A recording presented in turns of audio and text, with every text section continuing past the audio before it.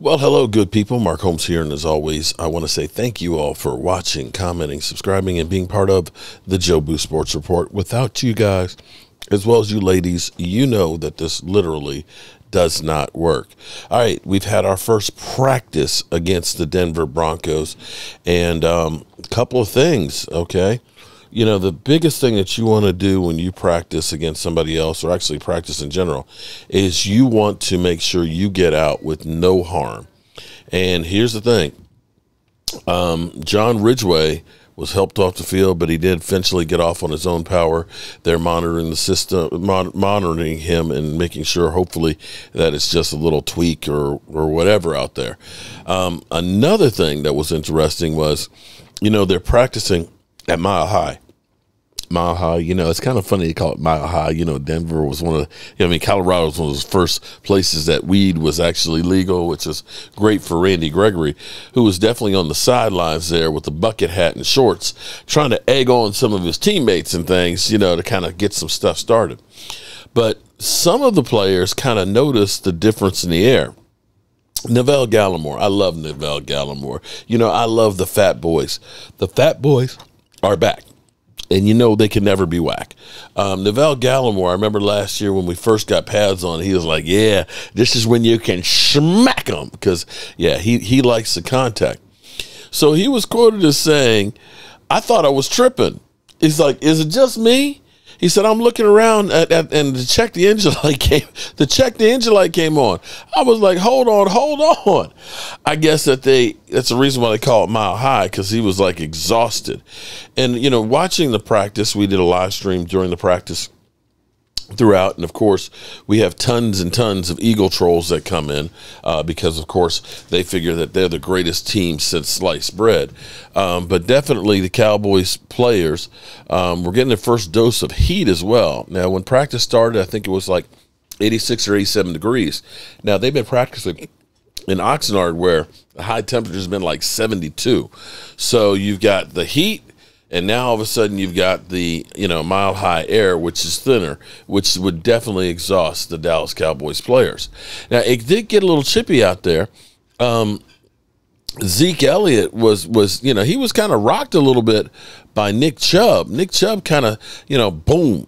Um, i mean really gave him a good thud um, in there.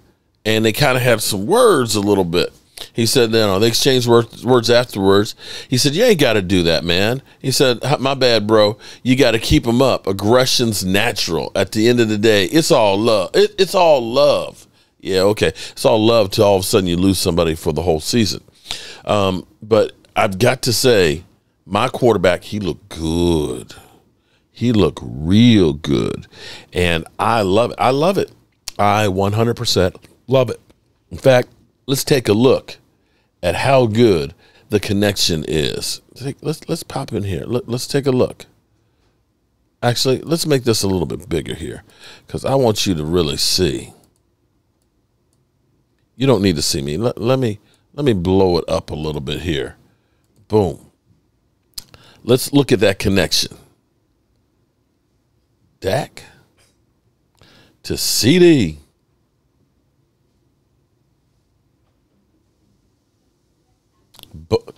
If boy, if that ain't on the money, look, and, and, then you see the drop, right? You see, oh, you see him drop it, right? Let, us watch that again. Let's watch that again. Look at this. Dak in midseason form. That ain't no dinking and dunking. Looks him off, boom, comes back to him. Perfect ball placement. And look at that midseason form of, you know, let, let's get the fans all riled up. I love it. Now, again, it did get a little bit choppy. There were like four different incidences in there. I think Noah Brown had his helmet actually pulled off and so on. But that's what you expect when you're out there in the heat, you're against another team and things, and you're getting that work it. Now, here's what I want to say. Here's what I want to say, and I know, you know, the Dak haters are out there. You know, Dak, he got to perform this year, or he needs to go. It's like, okay, and who you replacing him with? Who you replace? Uh, that, that's the thing that drives me crazy. If you've got somebody you can replace him with that's going to win a Super Bowl, by all means, I say do that. But I don't ever get an answer. I just hear replace Dak. Oh, trade Dak. Trade Dak. Trade him for what? Trade him for what? Take a look at the Washington Commanders.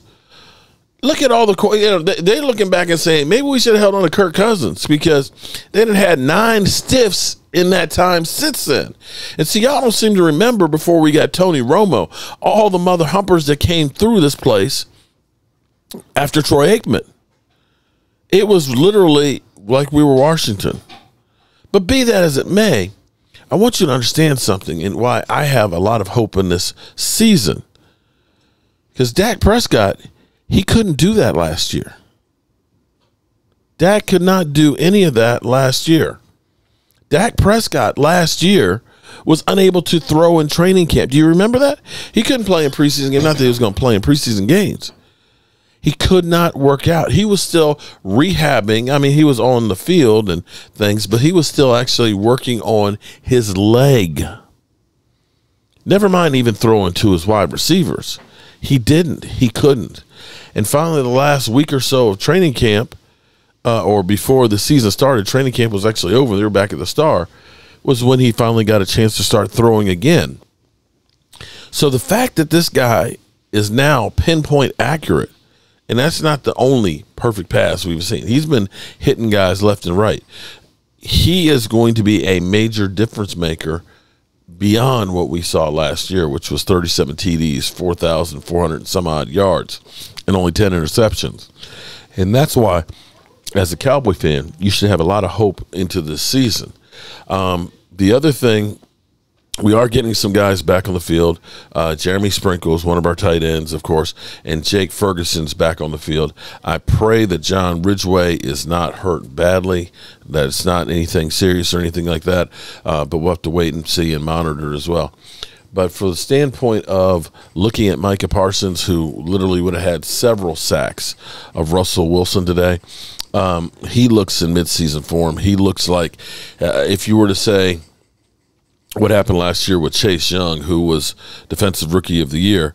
Um, the way he came back the next year, he didn't look anything like he did the year before.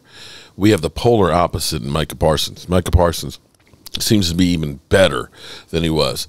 Um, and one final note that was good, and I've got to dig in a little bit more. Um, you only see so much here on practice, and you've got to rely on the people that are actually there. And it's totally a different narrative that you hear um, than what you actually see when you're at practice. Um, it's hard to judge because they're you know you're getting like a snapshot from the talking heads out there of what was good, bits and pieces and things. You have to kind of put it together. But when you're there, you get a totally different feel, which is one of the reasons why I wanted to go to Commanders camp because we'd heard about how bad Carson Wentz was. Carson Wentz is not a great quarterback, but he's not as bad as what you've heard um, from the talking heads and things. So, you know, there's a reason why you actually play the games. And of course, Philly 500 has visions of grandeur and is going all in. He's got all the chips, the mortgage, uh, I mean the, the the deed to the house and everything put in on the season that he's just like going crazy. I, I good luck with that, buddy. Good luck with that. Um, the other thing that was good to see was seeing Russell Wilson with uh, Dan Quinn on the sidelines there talking you know, those guys together won a Super Bowl in Seattle, and now both are elsewhere. Football. Not for long. Nothing lasts for very long. All right. Hope you guys are having a great day. And of course, you know how we roll.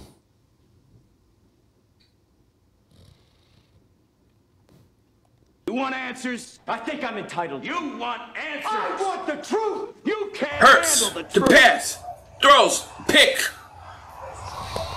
Horrible pass. Oh my god.